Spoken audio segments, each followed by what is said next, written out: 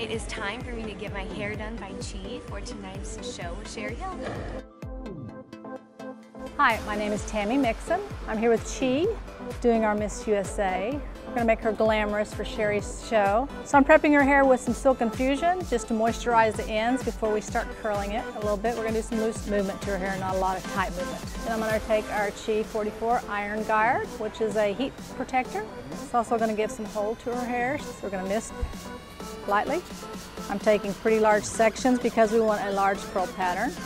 Texture waves hair. We want that pretty face to be showing through. It's a great curl.